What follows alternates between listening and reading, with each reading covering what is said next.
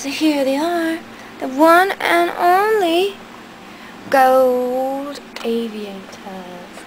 Part 2. Part 2. Can't get the accent right today. But the Aviators are right. And they're awesome. They're like Batman or something. Or um, Catwoman or an alien because they're really big. And they're the best shades of... I did not go back to the store and buy all of them like I was going to do. I thought that would be a little ridiculous. But um, hopefully nobody else will ever, ever, ever find them. And no, I'm not telling you who makes these.